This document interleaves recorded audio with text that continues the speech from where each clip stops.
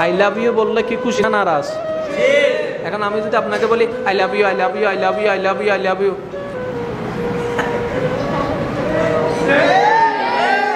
কথাটা যেমন রসটাও তেমন হতে হবে না রে ভাই।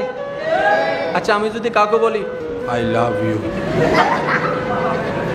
আমাকে কি আই লাভ ইউ টু বলবে নাকি? কথা যত দামি এক্সপ্রেশন হতে হবে তেমন। কথা যত দামি, মহাব্বত থাকতে হবে তেমন। চোখে চোখ রাখতে হবে। শিখাই দিয়ে আবার দেখেন গার্লফ্রেন্ডের জন্য ব্যবহার করেন না, বউয়ের জন্য ব্যবহার করেন। চোখে চোখ রাখতে হবে।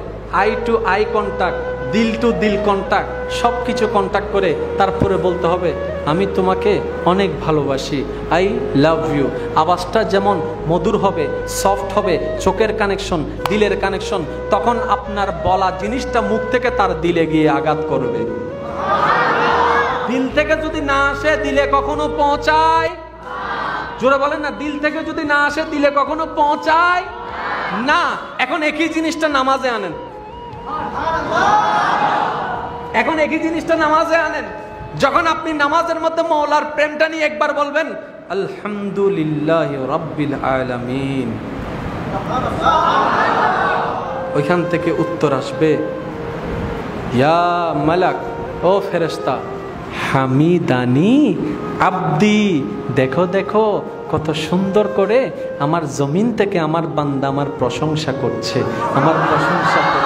এবার বান্দা যখন বলে আর রহমানির রাহিম তখন মৌলা ওইখান থেকে উত্তর দেয় ফেরেস্তা দেখো না, আমার বান্দা কত সুন্দর করে আমার রুবুবিয়তের প্রশংসা করছে, আমার রহমানিয়তের প্রশংসা করছে, আমার রহিমিয়তের প্রশংসা করছে। এবার বান্দা যখন বলে, মালিক ইয়ৌমিদ্দিন বিচার দিবসের মালিক তুমি, বিচার দিবসের মালিক তুমি।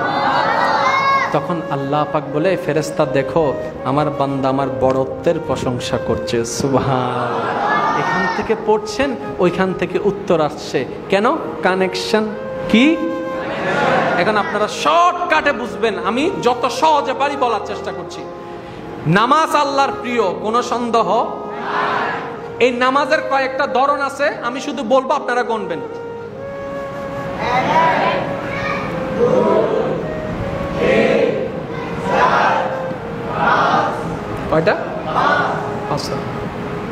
আমার চেয়ারে যারা আছেন, আপনারা একটু মনোযোগ দিবেন। আমি ওনাদেরকে কিছু বলব না, কিন্তু দেখবেন সবার পছন্দ এক। কয়টা পাইলাম? যুবক ভাইরা আওয়াজ দিয়ে বলেন, কয়টা পাইলাম? এক, দুই, তিন, চার, পাঁচ। পাঁচটা নামাজের অংশ, তার মানে পাঁচটা আল্লাহর প্রিয়। পাঁচও স্টাইল আল্লাহর প্রিয়। কোনো সন্দেহ? কিন্তু আমি একটা প্রশ্ন করে, আমার যুবক ভাইদের কাছে আপনারা একটু উত্তরটা দিবেন। এই পাঁচটা অপশনের ভিতরে কোনটা আপনার সবচেয়ে প্রিয় এবং কোনটা আপনার আল্লাহর কাছে প্রিয় বলে আপনার মনে হয়? আমি কিন্তু বলি নাই, আপনারা বলেছেন। আবার বলেছেন তো বলেছেন, সবার একমত।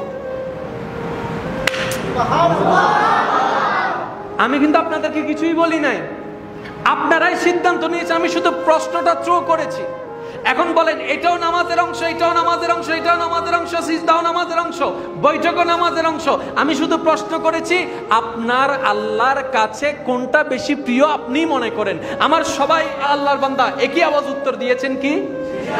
হিরে ভাই, এক একজনের মত এক এক রকম হওয়ার কথা ছিল। কেউ রুকু পছন্দ করত, কেউ দাঁড়ানোটা পছন্দ করত, কেউ বৈঠকটা পছন্দ করত। সবাই একরকম হলো কীভাবে? তার মানে আমাদের মনের ঠিকই জানা আছে। আমাদের আল্লাহ কি পছন্দ করে? আমাদের আল্লাহ কি পছন্দ করে? সুবাহান আল্লাহ ঠিকই জানা আছে আমাদের মৌলা কি পছন্দ করে। এখন রসুলের হাদিসকে দেখেন ওলামাই কেরাম থেকে আপনারা বারবার শুনেছেন, যখন বান্দা সিজদায় যায়, কপালটা তার জমিনে লাগে না, আল্লাহর রহমতের দরবারে গিয়ে লাগে কোথায় গেলে? কোথায় গেলে? তার মানে আপনি যখন সিজদায় যান, তখন আপনি আল্লাহর রহমতের একদম এর চাইতে আর কোনো সৌভাগ্য হতে পারে বান্দার? একটু একটু ফিল করেন, অনুভব করেন। আল্লাহর দরবারের কাছে যাওয়া কত বড় সৌভাগ্যের বিষয়। আমার মতো পাপি, আমার মতো গুণাগার আমার মতো সুদি, আমার মতো ঘুষি, আমার মতো জেনাকুর আমার মতো সুদকুর সিজদা দিয়ে আল্লাহর দরবারের কাছে যাওয়া। এই কপালটার কত ভাগ্য, এই হাতটার কত ভাগ্য, এই হাঁটুর কত ভাগ্য, এই মাথার কত ভাগ্য, আল্লাহর দরবারে যাচ্ছি। তার মানে সিজদার চাইতে বড় প্রেমের জায়গা আর